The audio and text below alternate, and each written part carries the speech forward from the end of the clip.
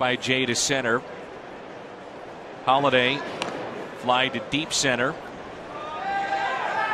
And he's out. How about that? Helton faked him out. The old veteran acted like he threw it back to the pitcher, kept it in his back pocket. Carpenter was off the bag and he tagged him. Take a look here. Uh oh. Ellsbury drills this one to right. Bautista's on the run and makes the catch.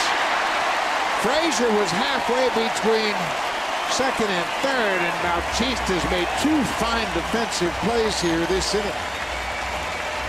Got to put a star next to that one. That saves a run. Let's see what happened. He's off. The hidden ball the trick. hidden ball trick. He lifts up his foot, shuffles his feet, and lost contact. And Goins had the ball on Frazier.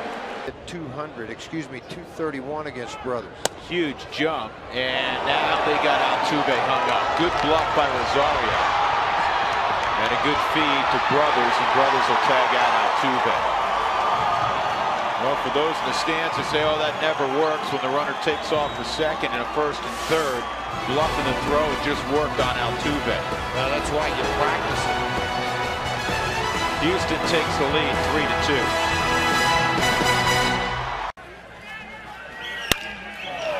into left field. Round third going to hold him there. Cabrera up with the ball. And the Diamondbacks have the tying run 90 feet away with one out in the eighth inning.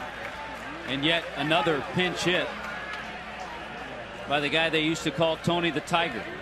Right now, Todd Jones would love to get a ground ball. It's Counsell in the leadoff spot who comes to the plate. Well, I don't know if it would be as big for Craig Counsell. They And try to Did they get him? they try the hidden ball trick, and I and I think they may have gotten the runner at third base, Luis Terrero. Terrero's out at third base. Mike Lowell had the ball. Todd Jones was not on the mound. You can't be standing on the mound in that hidden ball trick. Now Bob Melvin's going to come out. There it is, right there. It's another step. He's off. Goes. No throw. Why? Throws it down to third. Husky dugout pointing to the backstop. Oh, And look nice at that. play. Look at that. Well executed by the Huskies. They Ah. just duked the Winona runner. Jared Anderson fell for it. Joey Altoff behind the plate ran back looking for the ball, and Jared Anderson takes off from second. Little did he know that he was going to get tagged out at third. in the air to center. Inciarte, he's got it. He tries to deke the runner. The throw is going to beat it. How about the footwork by Freddie Freeman? That was a great job by Inciarte to lure him a little bit farther off the bag, but Freddie was not on the base and blindly did a nice shift to get his foot on the bag and take the throw. I'm sure aware of the concept. High center field. Wil Myers under looking into the sun. Runner tags. Run scores. Andre Ethier makes it five to nothing. Now the sacrifice fly RBI. 39. Well, you see Loney has the ball and he's right above the pitcher's mound. There you see James Loney right there. Okay, now he's got it. Uribe over here on the left. He's got his head down. Now Escobar has the ball. He throws it over to Longoria. So now the ball's over at third base. Longoria has it. Nobody knows Uribe, third base coach. Nobody's aware that Longoria has it. Uribe steps off.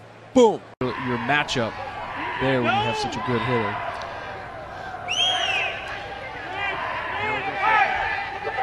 Oh, trying to do a fake pickoff.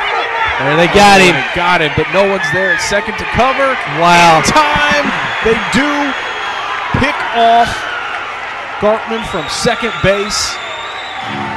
I can't believe that just worked. That's the old Wichita pickoff, Travis, that many teams have in the repertoire, but you very seldom see it used. And uh, boy, South Haven executed that to perfection. Middle infielders there running towards the outfield, pointing at the baseball that's not there. Short still got the baseball. And there we cut the runner down at second. Great job, great call by Coach Rich right there. And it worked.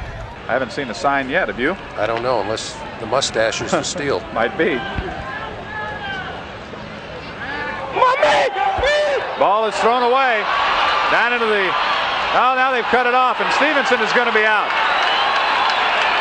How about that How about that for a decoy play? Fooled everybody in the ballpark, including I'll tell you us. What, that is an outstanding play. Look at this. Now watch these guys come out of the dugout. This is one of the better plays you'll see. Look at that decoy. See those two guys? That isn't by accident. They're all looking there. And there's Rona. He gets the ball from Casper Zach, and it's an easy out. And the throw was never even made.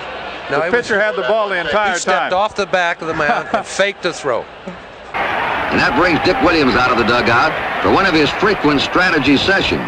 Rollie Fingers reveals the substance of the discussion. He pointed to the on-deck circle. He pointed to first base as if we were we were going to walk him, and he told me we were going to uh, have Gino stand up, and uh, it looked like there was going to be an intentional walk, and then Gino would jump back down into the catcher's box, and uh, we'd pitch to him. Uh, Williams, he wanted me to throw a breaking pitch, and he specifically said throw a slider and not a fastball. We threw a slider on the outside part of the plate for a call strike three. Led off the inning with a walk. He's at third. Marvin Benard, a pinch hitter, also walked. He's at second. One out.